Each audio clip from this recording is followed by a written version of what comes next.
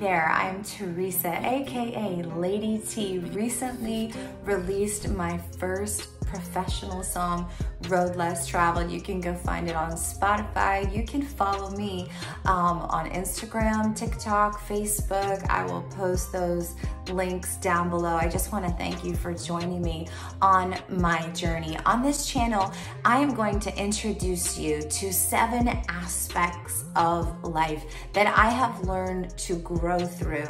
I didn't pick up my first instrument till I was 35 years old. So about seven years ago and I just recorded my first professional song. I am releasing my second book. The first one was a collaboration called The Power of Bold. I will also put a link below for you to get that book. But I am getting ready to publish my first piece as a professional author. Now at 42 years old, married almost 20 years, I served in the church for over a decade, and now I am a rock and roll performer. So there is a lot to this story, and the reason why I'm bringing it to you now is because I understand the gifts that God has invested in me and how they are to impact the world in which we live today those things have come to a maturity and it is time to release what God has given me for you. Stay tuned.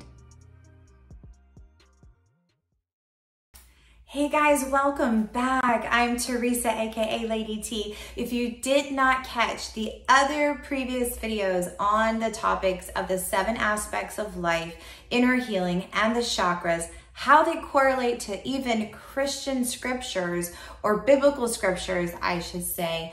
Um, I would like you to go back and catch up on those videos because today I am finishing up talking about the crown chakra or the energy of the magenta. I couldn't find anything really magenta in my closet. Um, so far, I have been trying to wear the color of the chakra that I'm talking about. I did my best.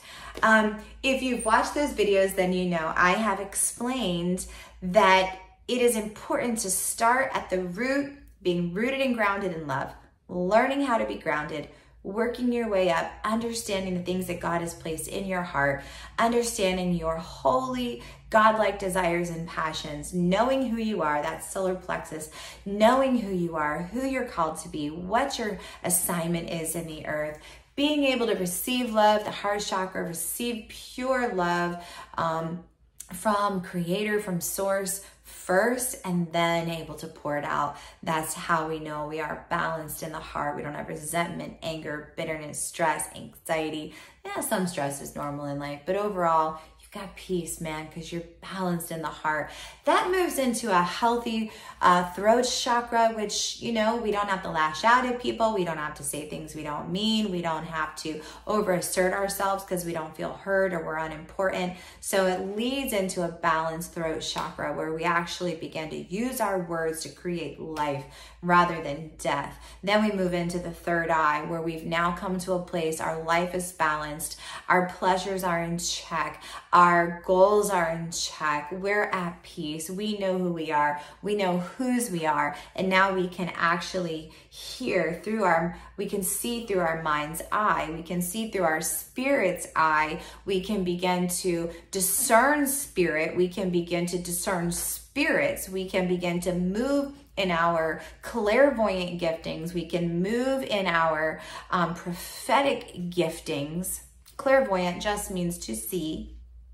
We can move in our prophetic giftings for the greater good. When we understand them for ourselves, we're then able to move into the final aspect of who we are as spiritual beings in physical bodies, and that is our Christ ascension, our Christ mindedness, our ability to pick up our cross, to lay down our lives, and to use our energy for the greater good of all people and the earth.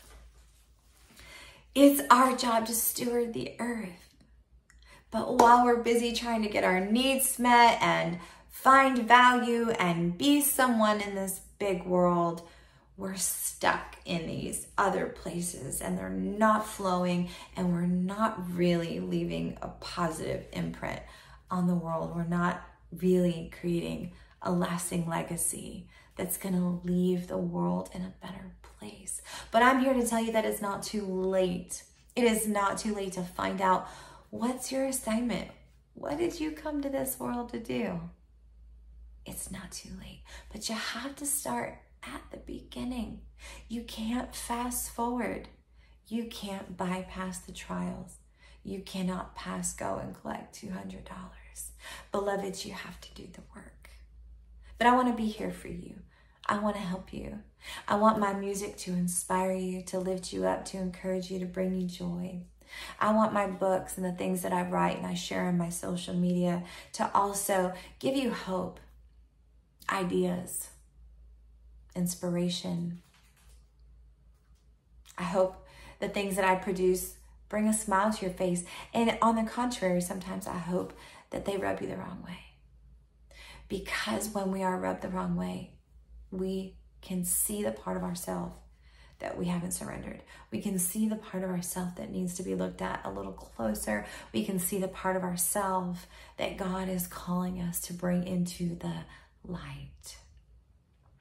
I don't seek to offend anyone, but I know where I stand. I know whose I am. I know who I am. And I know what I'm here to do. And the beautiful thing is, I'm still growing. And as I grow, my vision becomes more clear. My intention, my intentions, and my purpose um, becomes more defined. But I do have to sum it up with this it is about the journey. It, your fulfillment. Your fulfillment is in the journey. But when you understand that the journey is not on a short timeline, the journey is on many timelines outside of timelines, if that makes any sense to you. It's eternal, it's multidimensional. And when you've learned how to still yourself, how to balance your energy, how to be loved by God and love others, how to live in the space of being ascended,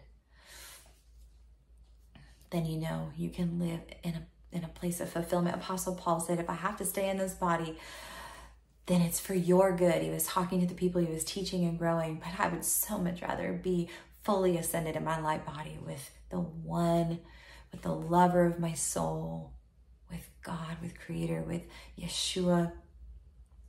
But while I'm here, I will be content.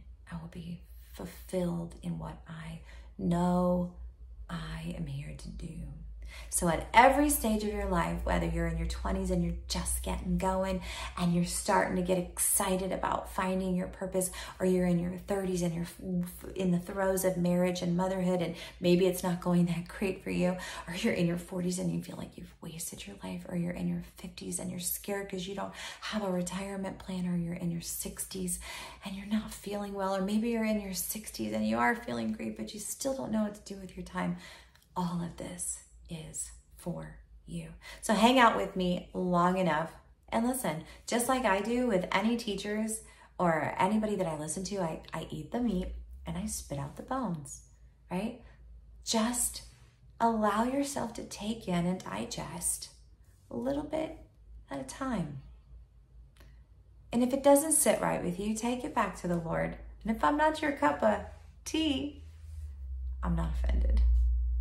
So until next time, you guys take care.